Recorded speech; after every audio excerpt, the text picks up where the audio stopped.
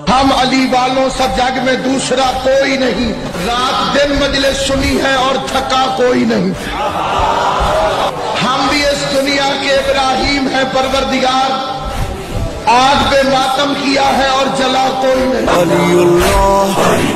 Asadul